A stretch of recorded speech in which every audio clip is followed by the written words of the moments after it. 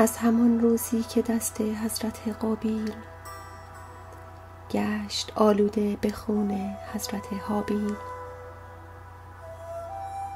از همان روزی که فرزندان آدم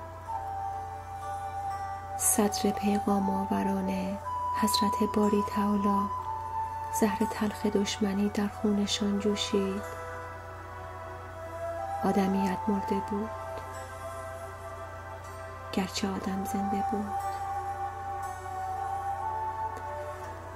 از همان روزی که یوسف را برادرها به چاه انداختند از همان روزی که با شلاق و خون دیوار چین را ساختند آدمیت مرده بود. بعد بعد. دنیا هی پر از آدم شد و این آسیاب گشت و گشت. قرنها از مرگ آدم هم گذشت. ای دری آدمیت برنگشت. ای دری آدمیت برنگشت.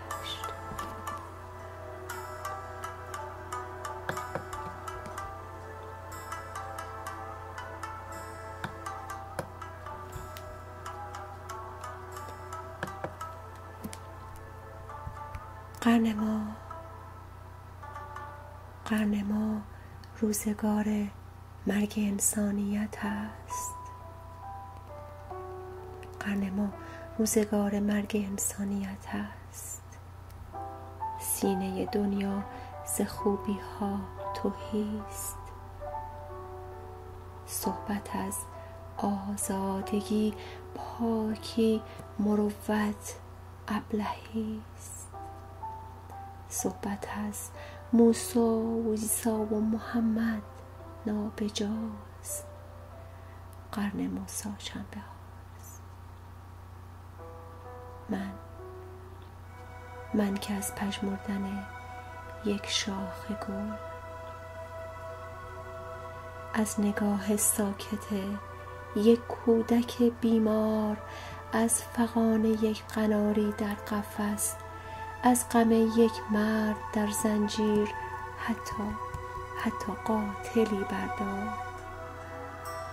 اشک در چشمان و بغزم در گلوست و در این ایام زهرم در پیاله زهر مارم در سبوست مرگ او را از کجا باور کنم؟ صحبت از پژمردن یک برگ نیست. وای جنگل را بیابان می کنند. دست خون آلود را در پیش چشم خلق پنهان می کنند.